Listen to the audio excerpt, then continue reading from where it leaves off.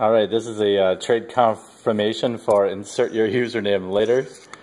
I'll have to check what it was. It was, um, like many of my trades, especially right now, it was for a breeding pool and a yeah, steam vents and a temple garden. I remember this trade, I just don't remember who it was from. They sent it in a top loader, safe trader, definitely. They didn't put my name on the envelope though, which is, uh, I'm glad it got to me, but they all look good, just like you said they would. So, safe trader, and uh, I'll insert the uh, name later.